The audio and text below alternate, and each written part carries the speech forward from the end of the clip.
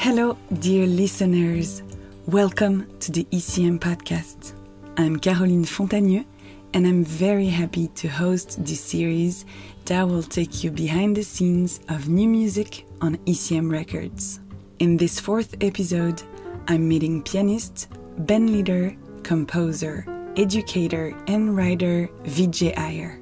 For this interview, we met in the heart of Manhattan, Central Park, and talked about his new trio album called Uneasy, which was recorded with Linda Mayano and Tyshawn Sorey in New York and co produced by Manfred Eicher.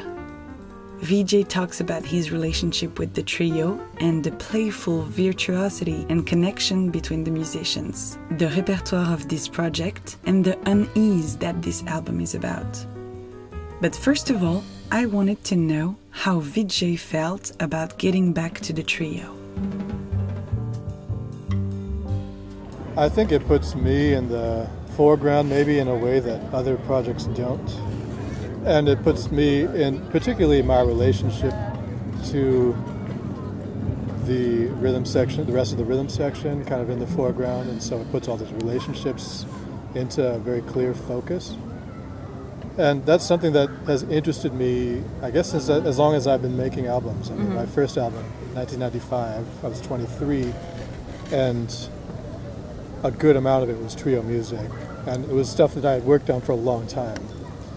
Um, trying to develop some different approaches to rhythm and counterpoint and um, form, all kinds of different things.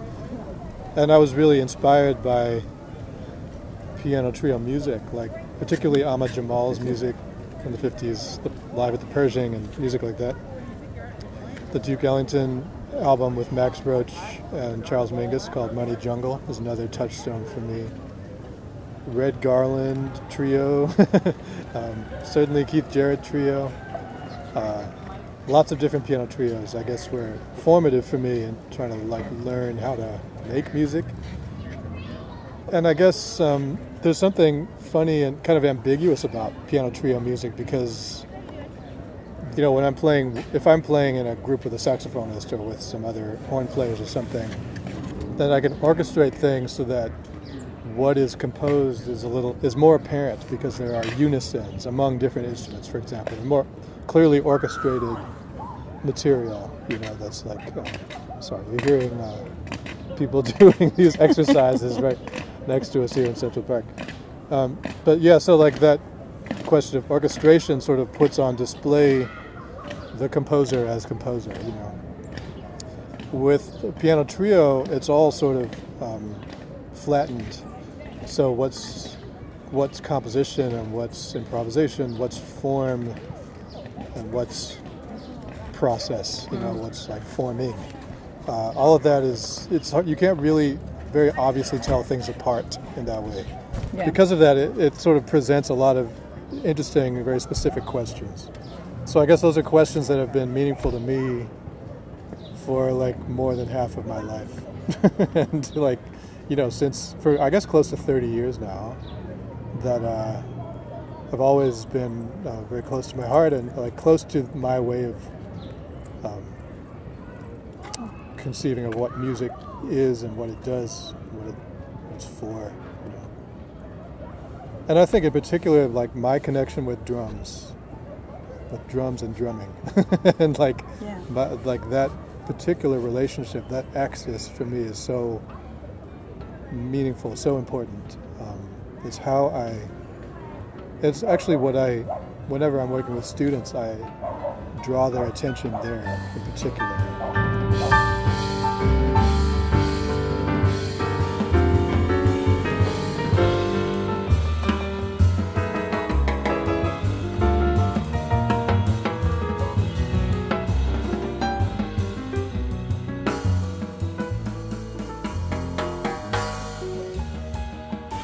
Because often, you know, people think of what they're doing as playing over the drums rather than with and in and through. So I, I tend to think of it as like I'm co-drummer. You know, I'm co I'm in the drums with the drummer. You know, I'm in. So that that axis is so key to me in, in music making. It's sort of what in a way, it's the first thing that a listener feels when they experience the first moments of music. It's like that access before they even are aware of what's happening. It's sort of like that rhythmic relationship kind of um, gets into your body, and so that that's been very key to me. And, so when you when you started thinking about this project and when you started getting ready uh, and gathering the repertoire, like you knew that you wanted to record with the trio. You, you knew that you wanted to write for the trio. You knew like you knew that it would be a trio uh, project. Or that came later. Well, what came first is the impulse to record with these specific Yeah. musicians.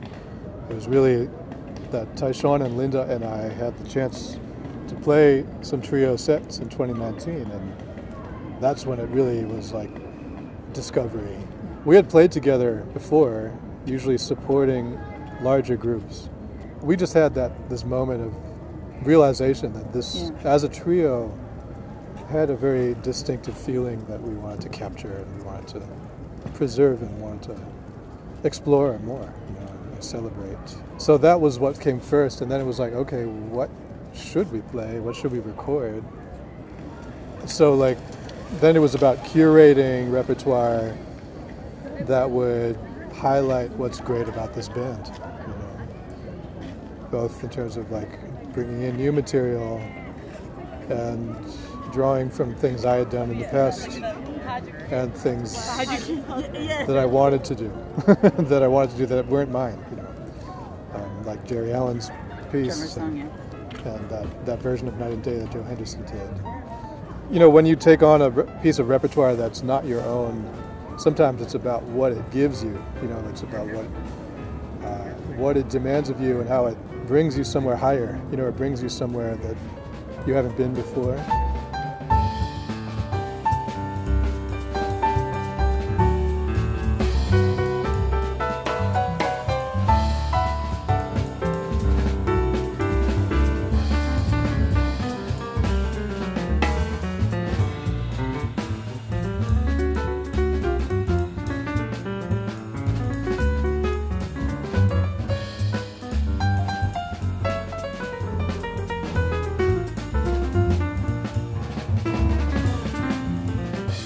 Tyshawn Sorey, um, I mean, you've known him for years. You, 20, 20 years. Yeah. And you were saying it earlier, you're so attentive to the relationship with the drumming and with him. He ha- it feels like he has so much to say. He's so musical, obviously, but he's so he has so much to say. It's fascinating. Oh, yes. Um, how does this relationship is evolving?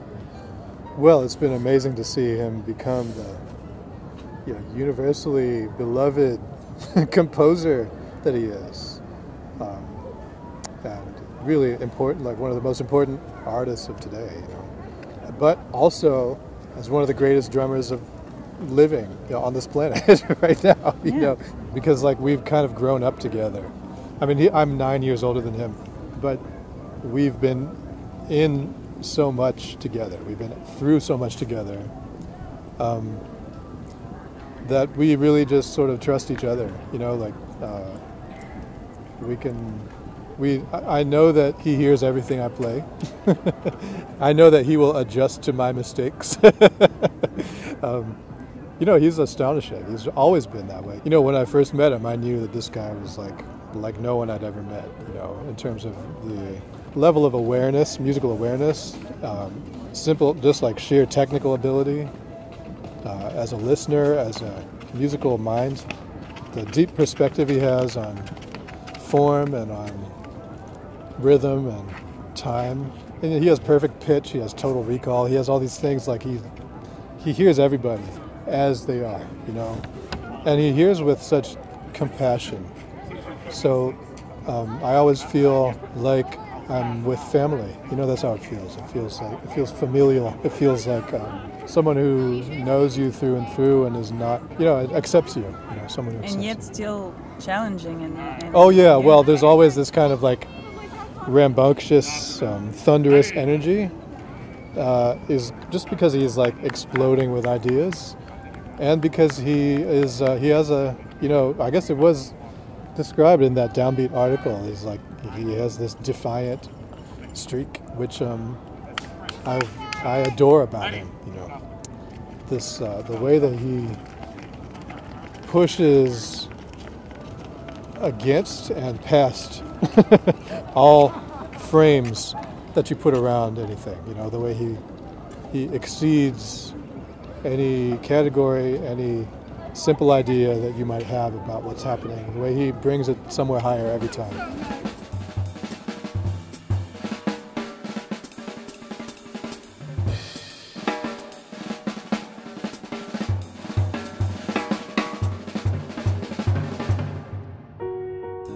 Does it feel like that with Linda May and how hearing her for me it feels like hearing her breathing. There's something so organic because you can feel this thing between you and, and Tyshawn mm. and, and Linda is not just like trying to well I knew also with her from the very beginning when I first met her and first started playing with her which is more than 10 years ago that she also had the similar kind of acuity like similar ears in terms of real perspective on everything that's happening a real accurate sense of time you know, she also has perfect pitch, so she's never mystified.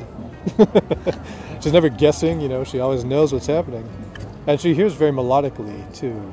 Yeah, so I just knew that we could, uh, again, like, we can do anything together. I'm not, I'm never concerned about whether she's going to keep up with Tyshawn, say, which I might be with many other bass players, actually. Like, it takes, like, a certain kind of um, fortitude, you know, to, to get into that rhythmic relationship with him. I mean, he's very supportive. He always, you know, someone, remember Mark Shim, who the tenor saxophonist is on Far From Over, the mm-hmm. sextet album. Um, he described Tyshawn's playing as all support, you know. So if you really tune into it that way, if you understand that actually what he's doing is moving with you, not moving against you, not trying to throw you off the deck of the ship or something like that. He's not trying to um, do any harm to anyone. He's actually trying to carry us all somewhere higher, and he's with us. You know, so like once you just accept that that that's actually what's happening, it all actually falls into place. Yeah. And she heard that. She was able, you know, like we've had many chances to play together. And they knew each other, obviously. Uh... Yes, yeah, yeah. I remember what she was noticing in the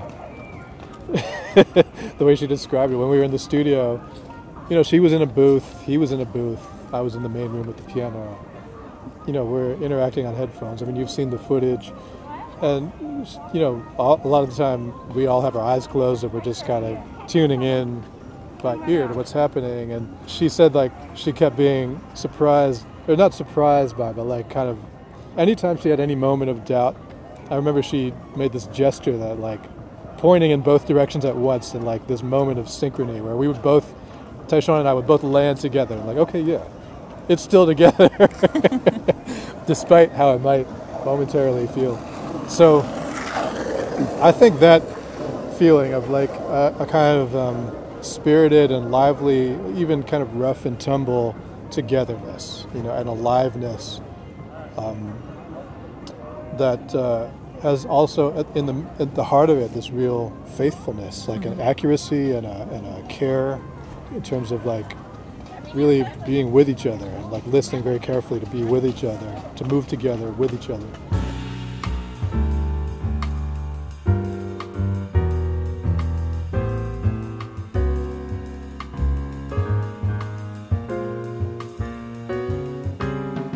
When you started gathering this repertoire, some tracks were written already, were from uh, older projects. Uh, some were written for it was that part of the conversation with Manfred? How did you build this whole repertoire of all those tracks up Easy? It was more for me about just uh, from my own perspective how I felt we could sound good together. you know? I mean, I knew in a way like it almost didn't matter what I chose because I felt like they would make anything great. You know, I guess that process is always partly intuitive, which means that a lot of the choices are uh, submerged for me. like I can't exactly access why it felt like I should do Touba, for example, which is from 2003, or configurations, which is from I wrote it in 1999 actually. So like why those pieces? Um, it felt right. Like some, I had some flash of intuition. Like this felt like we could make it really speak in a new way. Some of it was like I knew that Tyshawn knew all of it. Like he had played all of that music before. That's helpful. At some point, or at least had heard it, and anything he hears, he knows. Like that's how he is. I'm not exaggerating. like something he heard 22 years ago, he knows right now. Like that's how it is. I laugh because it mystifies me, but this is just a truth about Tyshawn Sorey. So I knew that we could just bring anything back into and, and reinstantiate it and make it new, you know. Well, there was like a spectrum I wanted to cover with this band. Like, on the one hand, a certain kind of depth and grandeur that uh, I don't know, like entrustment or Touba certainly they can access. They can just basically tap into the deepest currents in this music, you know, and, and like make them speak. The, the kind of like the the drama of it, the the struggle, the tragedy, you know, that gave rise to this whole history of this music, you know, and then also the the nobility of it. So the, that side of things, and then on the other side, there's a certain like just playful virtuosity that they're both just able to conjure at a moment's notice. You know, whether it's about navigating the maze that Joe Henderson made out of Night and Day, or the rhythmic complexity counterpoint of Geri Allen's piece, or that piece Configurations of Mind, which is just really hard. It's just hard. It took me took me years. I mean, I wrote it in '99. We recorded it in 2001, and then I'm still working on it now, like 20 years later. So, so in a way, it's kind of like, well, this here's another crack at it. Like, let's try again. Let's make it. Let's see what we can discover today in this piece. So I guess all of those things, you know, the uh, and then with a plaintive kind of piece like Children of Flint, which has this like uh, there's a hint of sorrow in it, you know, but there's also a, a sense of like um, it's for children, so you like want it to kind of have. Uh, a, uh, a tunefulness and a kind of um, there's a care that's like a, even a quiet that's uh, a gentleness that's that it's that they give to it that's about well they're both relatively new parents so they know that feeling of like welcoming a new life and caring for it and protecting it and that kind of thing. So i think all of that um, that speaks through both of them that they were all you know i just wanted to capture that whole spectrum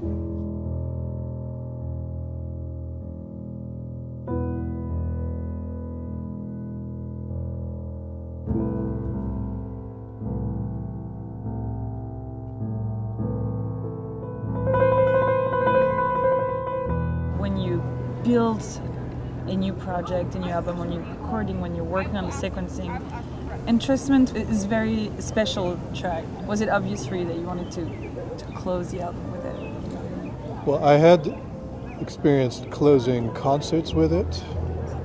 Um, yeah, uh, I mean, I didn't know actually.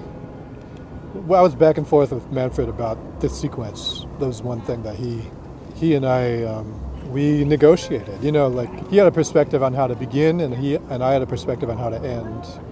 And then eventually, like we clicked them all together like Legos.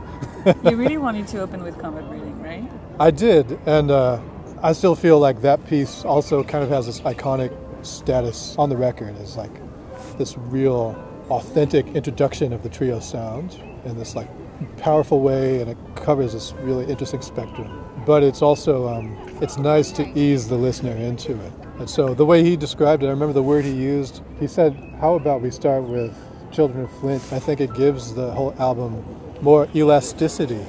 That was such an interesting way to put it, hmm.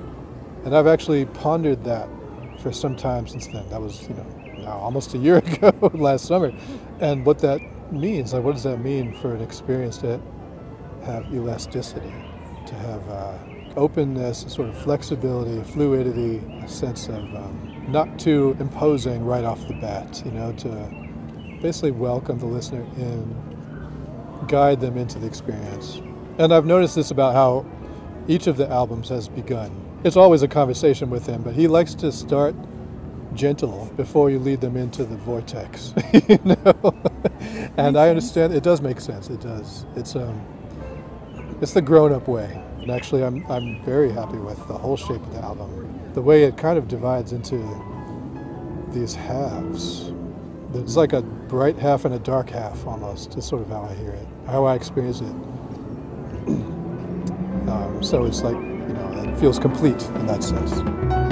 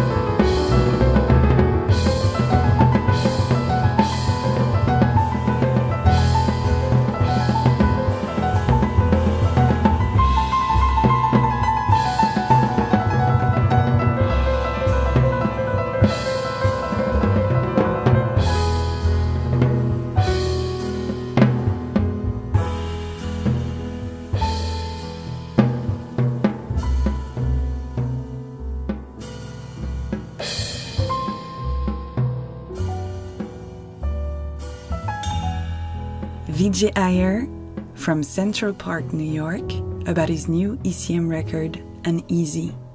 Thank you for joining, choosing, and listening to our ECM podcast. I'm Caroline Fontagneux, and I look forward to sharing more music with you in the next episode.